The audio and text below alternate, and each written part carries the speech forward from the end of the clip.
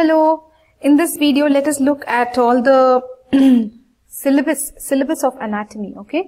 So anatomy, let us see what and all is there. Uh, usually the exam is conducted as two papers, paper 1 and paper 2. In paper 1, you will have general anatomy, upper limb, thorax, head and neck, brain neuroanatomy. Okay. So first let us see what you will uh, study in general anatomy. General anatomy you will study about artery, bone, joints, lymph, nerve. What else? A lot of things like very generic stuff. Then coming to upper limb, in upper limb you will study the bones of upper limb like the humerus, the radius, the ulna, the scapula, correct? All of them you will read. Then you will read the pectoral region, the muscles, the pectoralis muscles, serratus anterior, subclavius is a muscle, right? What is subclavius?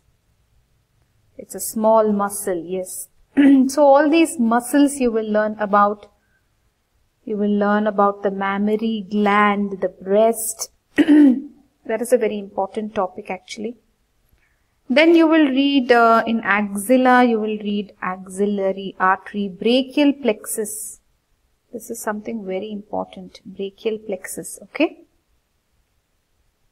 Then you will read what else? A lot of things. Then moving on, in the scapular region, you will read what? The deltoid muscle. Then you have arm, forearm, etc. Joints of upper limb. What are the joints of upper limb? Shoulder joint, elbow joint, wrist joint, correct? So you're getting an idea, right, what exactly is going to be taught in upper limb.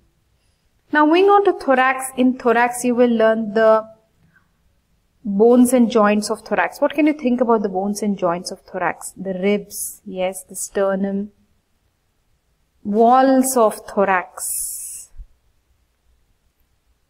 thoracic cavity, lungs, you'll read about the lungs.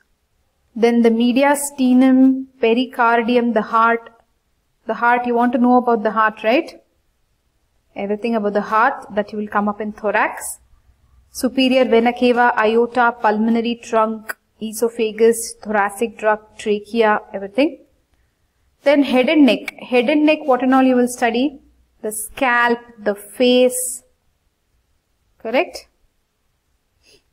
The eye, the neck, submandibular region, nose, mouth, lot of things, right? What would you think you will learn in face? In face you will read the facial muscles, the arteries, the nerves. Eye, eye you will learn the muscles of the eye. Okay, let's move on. Brain, neuroanatomy. In neuroanatomy, you will see, you will learn about the brain. then the midbrain, then the pons, the medulla oblongata.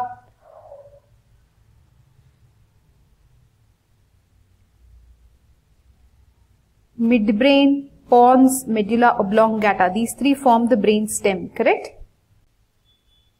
Is it clear?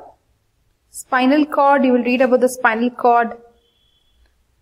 Basically, you should know that uh, the brain and the spinal cord together are the central nervous system. Okay? Very good. So then, we are done with uh, paper 1, correct?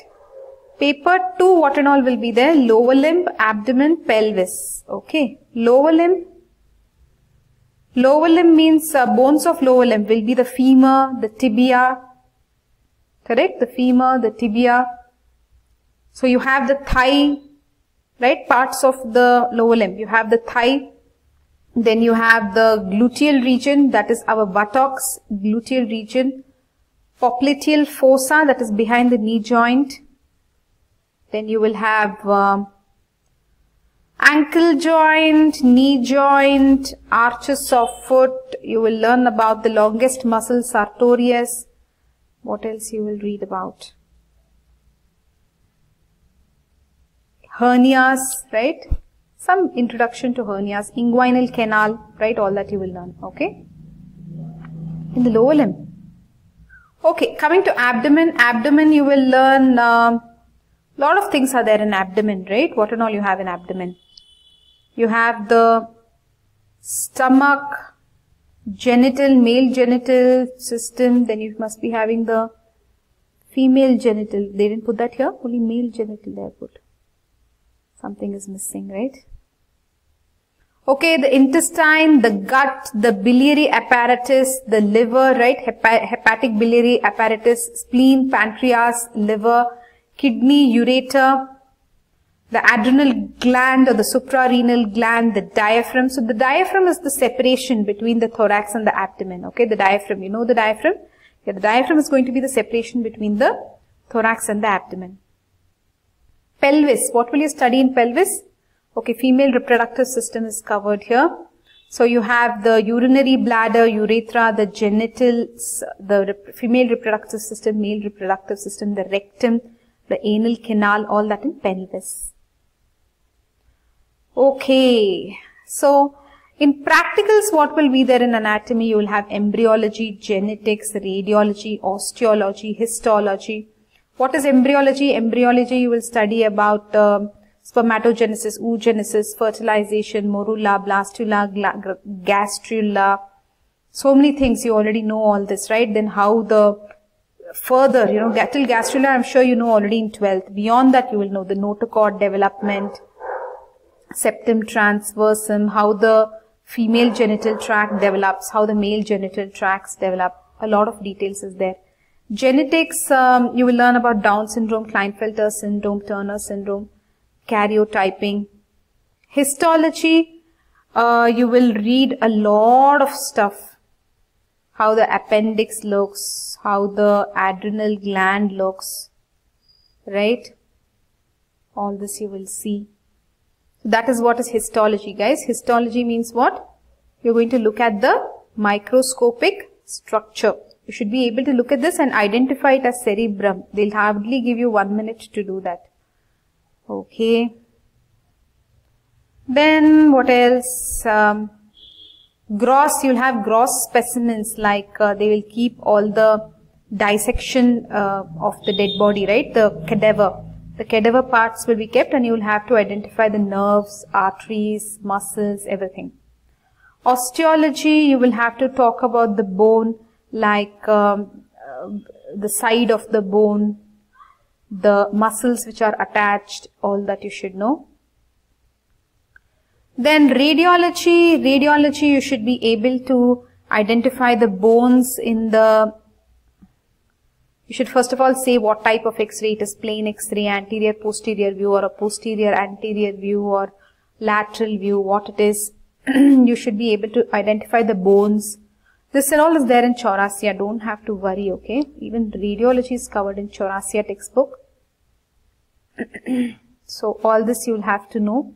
Then what else you will need to know? Spotters. Spotters is also there in Chaurasia. They will just um, give you a specimen and you have to identify what it is.